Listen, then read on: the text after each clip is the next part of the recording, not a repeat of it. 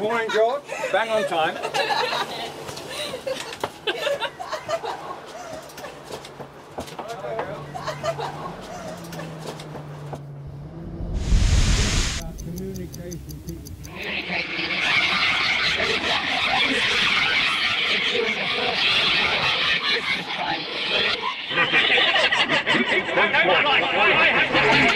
How people don't communicate with one another.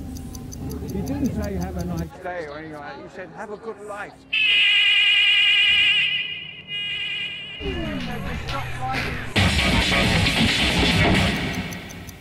He's very young. This is my stop. Oh,